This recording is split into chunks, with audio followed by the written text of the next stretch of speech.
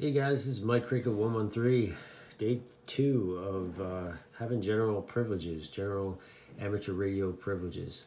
Uh, it's been fun. It's been fun. Uh, yesterday when I got home, I uh, I turned this radio on and uh, I'm using my IMAX Solarcon IMAX 2000 out there, and I wanted to see what other uh, frequencies I could use it on. And as you know, the IMAX 2000 really popular vertical antenna. it's 24 feet 4 inches long a lot, a lot of uh, uh, 10 meter operators and uh, uh 11 meter operators use it. so, so you know, it's uh, I found out it's good for your 10 meter uh, frequencies, 28 megahertz, and it's good for, whoops, 12 meters. I was able to use the tuner and work stations on 15 meters and 17 meters. So I was really excited. Uh, on 17 meters, I was actually able to work a station in Spain. So uh, it is working.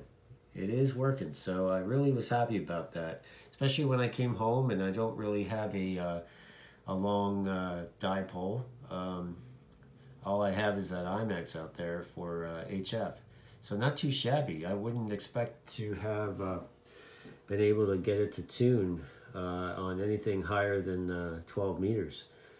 Um, so that was pretty cool. That was really cool. Uh, you can tune it on 20 meters. I did try that. But uh, you have to think it's compromised because if you do the math, it would only be a 3 eighths of a wave uh, vertical, uh, like a vertical ground plane. 3 eighths of a wave on 20 meters. So uh, yeah, it's time to get bring out the big boys and get like a uh, I don't know an 80 meter uh, half wave dipole out there and hook it up to a tuner to work from like 80 to 10 or whatever. So um, yeah, so that's what's going on here. Uh, I just wanted to give you a little update, and that's uh, some pretty curious, curious uh, news about the Solarcon, Solarcon IMAX 2000. So it's good from 10, 11, 12, 15, and 17. And you could use it for 20 in an emergency for a short local contact, I guess.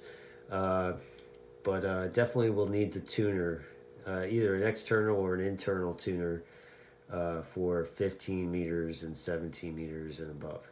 So anyway, this is uh, Cricket 113. Just wanted to say hello and give you that news. And I'll be talking to you. Have a good one.